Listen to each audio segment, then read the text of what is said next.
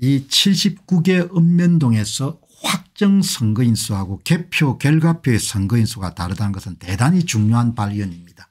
저도 그 부분까지는 여러분들 파악을 못하는 겁니다. 이거는 엄청나게 중요한 겁니다.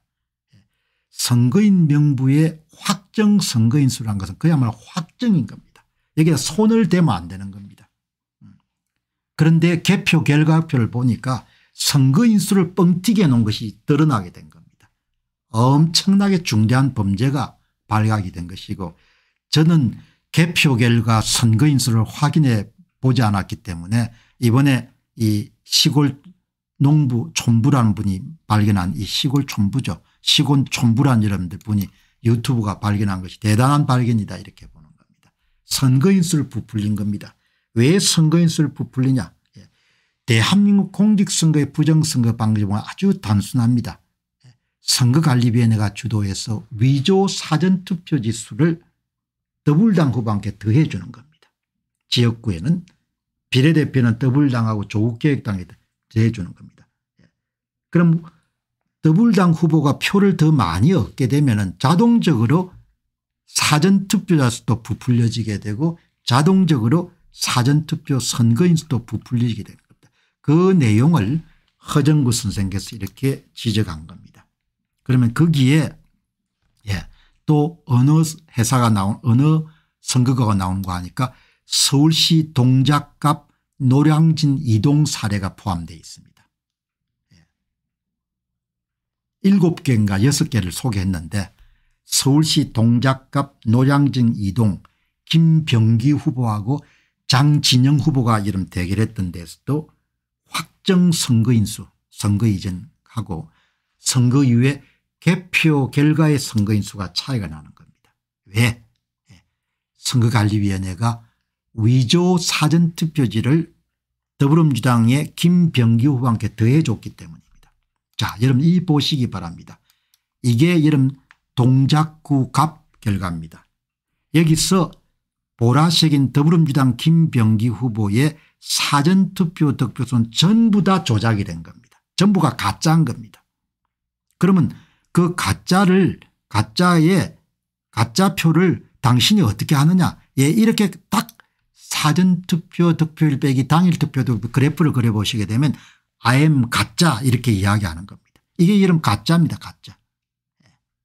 사전투표 득표율과 당일투표도 어마어마하게 큰 격차가 생기고 표를 집어넣어준 더불어민주당 김병기 후보는 사전 빼기 당일이 뚱뚱한 플러스 값 장진영 후보는 마이너스 값입니다.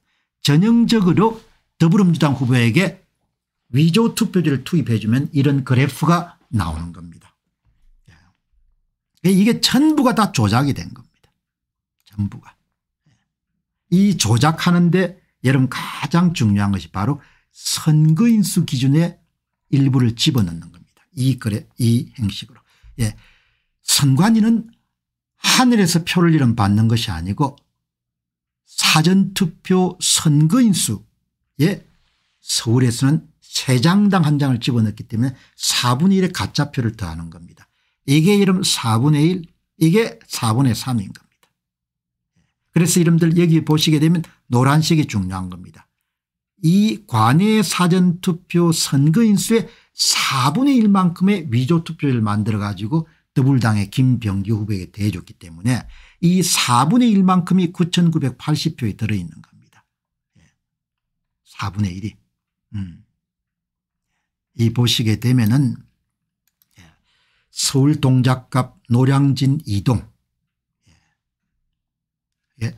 선거일 이전에 확정된 국내 선거인 수는 9366명 선거 이후에 개표 결과표에 관내 사전과 당일 투표의 사전투표 선거인 수는 1662명 몇 명이 늘어난 겁니까 1296명 예.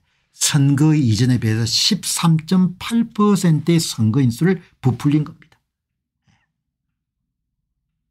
예. 여기 보시게 되면 한 번 더 보시게 되면 예. 확정된 국내 선거인 수는 선거 이전에 9366명 선거 이후에 개표 결과표를 보시게 되면 1662명 1296명이 늘어난 겁니다. 예. 왜 늘어났느냐 이걸 보시면 단박에 이런 아실 수가 있는 겁니다. 예. 이 보시게 되면 더불어민주당의 김병기 후보의 보라색이 쳐진 사전투표도 전부 다 조작이 된 겁니다. 여기에 선관위가 더불어민주당의 김병기 후보를 특별히 사랑하사 더해준 위조 투표지가 들어있는 겁니다. 위조 투표지 어떻게 계산합니까 여러분 이제 다 박사가 되셨지 않습니까 선거인수 곱하기 4분의 1만큼을 더불어민주당의 김병기 후보를 특별히 사랑한 선관위가 더해 준 거죠. 예. 그럼 여기 한번 보시기 바랍니다. 예로 노량 이동에 예. 관내 사전투표 득표수 2439표. 노량진 제2동. 더불어민주당의 김병기 후보의 관내 사전투표 득표수 2439표. 조작.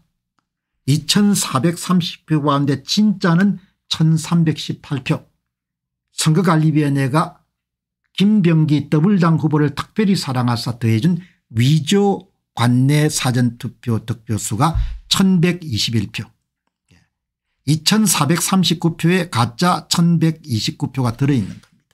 1121표 어떻게 계산했습니까 예, 관내 사전투표 선거인수 4483명 곱하기 4분의 1 1121표가 되는 겁니다.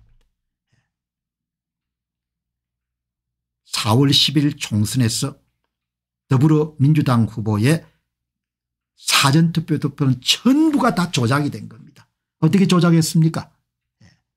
사전투표 선거인수 곱하기 서울 4분의 1 경기 5분의 1 부산 6분의 1 광주 강력시 4분의 1 이런 식으로 다 조작을 해가지고 우리 선관위께서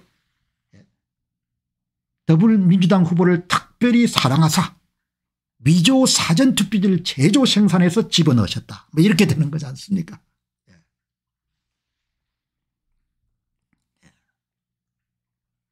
비례대표에서는 특별히 조국개혁당을 사랑하사 조국개혁당에게 이름 70% 이상을 주고 30% 정도는 더불어민주당에게 주셨다. 이렇게 되는 거죠. 이렇게 여러분들 정리가 되는 겁니다. 이 앞에 그 여러분들 진짜 이게 가짜 예. 대한민국 선거는 국민들이 결정하는 거 아닙니다. 예. 더불어민주당의 하명을 받들어서 선관위가 조작해서 대한민국 선거 결과를 결정하는 겁니다. 그래서 대한민국은 이미 없어졌습니다. 대한조작국입니다. 그래서 내 이야기가 이런 선거 뭐 하려고 하노 이런 선거 할 밖에야 북조선처럼 너희끼리 앉아가지고 그냥 발표해라 국민들 저항 안 할 거니까 국민들 찍소리 안 하잖아. 그러니까 그냥 너희끼리 그냥 결정해 가지고 그냥 발표해라. 그리고 북조선하고 남조선이 무슨 차이가 있노? 똑같은데.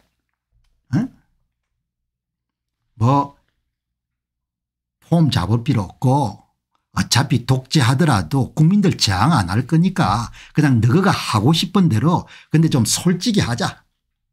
그냥 대한민국이라는 거 쓰지 말고 어차피 당신들 조작해서 이렇게 다 하잖냐. 그러니까 그냥 대한조작국이라 아싸리 대한조작국을 해라. 대한조작국을 하고 그냥 뭐 다음에 선거 이번에 선거합니다 이렇게 이야기하고 다음 날 그냥 선거 결과 만들어서 이렇게 발표해라. 그럼 뭐 9천억도 아낄 거 아니야. 이렇게 여러분들 정리를 하는 겁니다. 뭐 나라는 그냥 그냥 간 겁니다. 이거를 심각하게 생각 안 하신 분도 계시면 그거는 본인이 자유니까 예. 내가 이야기해 준 겁니다. 그냥 예. 나라가 완전히 망한 겁니다.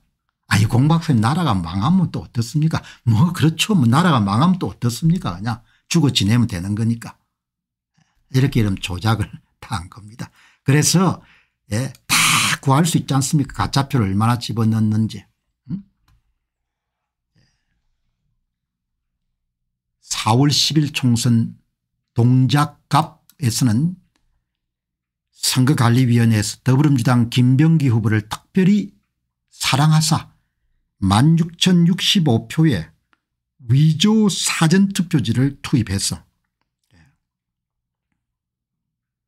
김병기 후보를 당선자로 만들었고 관내 사전투표 위조투표지는 4247표 국외 부지자 투표 위조 투표지는 194표. 노량 제1동 관내 사전투표 위조 투표지는 1263표. 노량지 전2동 관내 사전투표 위조 투표지는 1121표. 이런 선거할 필요 없다 이야기죠. 앞으로 그냥 전산 프로그램 돌려가지고 아름다운 선거합시다. 이런 거 필요 없고 그냥 조작해서 그냥 발표해라. 어차피 북조선이나 남조선이 똑같은 거니까 그렇게 하고 그냥 솔직히 하는 의미에서 대한민국이라는 이런 용어 쓰지 말고 그냥 대한조작국 이렇게 쓰고 그냥 다 그렇게 해버리면 되지. 뭐 하려고 뭐 돈 9천억이나 써가지고 뭡니까? 3천 명 직원들 매개 살리냐 이야기. 어차피 다 선거 결과 당신들이 만드는데.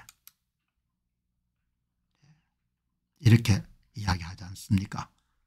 그 이거를 이제 제야 전문가가 이 발표 나오기 전에 보면은 이 동작 값은 16,065표를 투입한 거 아닙니까? 선거관리위원회가. 예, 더불어민주당 후보를 특별히 사랑하사 16,065표 위조투표를 투입했고 그걸 하기 위해 사전투표를 8.92%만큼 뻥튀기를 했고 국힘당 후보가 동작갑에서 9,192표 차이로 이겼는데 16,000표를 집어넣어 가지고 6,874표로 더불당 후보를 성자로 만들어준 거지 않습니까 이게 다 밝혀졌잖아요. 이제 저도 흥분하거나 그러지 않고 그냥 웃으면서 예, 조작을 해놓으니까 여러분 그림, 그림 한번 보시기 바랍니다. 왼쪽이 선관위 발표 자료를 가지고 사전 빼기 당일 투표 득표이지 않습니까 이게 뭐 선거입니까 이게. 그러니까 어차피 이런 북조선은 뭐 그냥 발표하잖아요. 그러니까 남조선도 뭐 그렇게 할 필요가 없는 거지. 그냥 남조선도 그냥 그냥 떼놓고 그냥 발표하는 겁니다. 남조선도. 예. 뭐 이렇게 이렇게 하는 거예요. 남조선. 예. 뭐 대한민국이 어디 있습니까 대한민국 다 망했는데. 예. 이렇게 여러분들 정리를 하면 되죠.